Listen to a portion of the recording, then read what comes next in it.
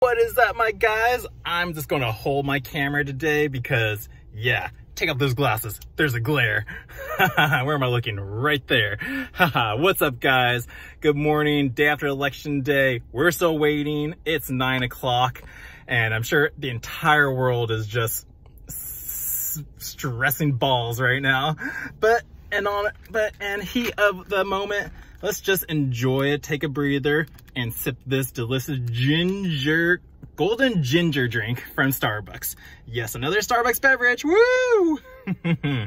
let's just dive right in and sip it. I'm, mm, mm.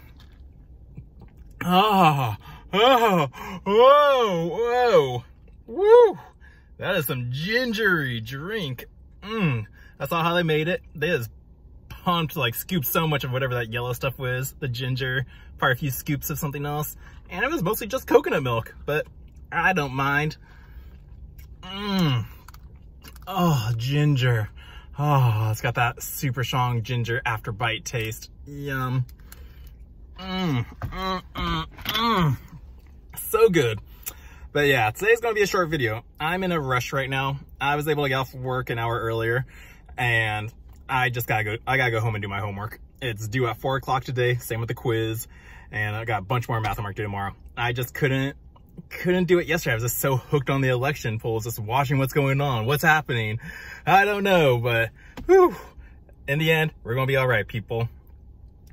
The only way this thing really truly affects me personally is cryptocurrency, baby. I'm talking about with all my friends, all my coworkers, they're getting annoyed by it, but it's the future. I, I say it is, I think it is. And right now, no matter who wins the election, crypto's the winner. Biden wins, we're gonna skyrocket fast. Trump wins, it's gonna go progressively, and that helps me out the little man. So either way, I win in the end. but let me know what you guys think who's to win the election. I'll probably post this video by 3 o'clock. We'll see if we find out who the president is by that time. If not, you beautiful people, enjoy your day. Don't let anything stress you out. Stay calm, relax. We're in this together. I love ya. Peace.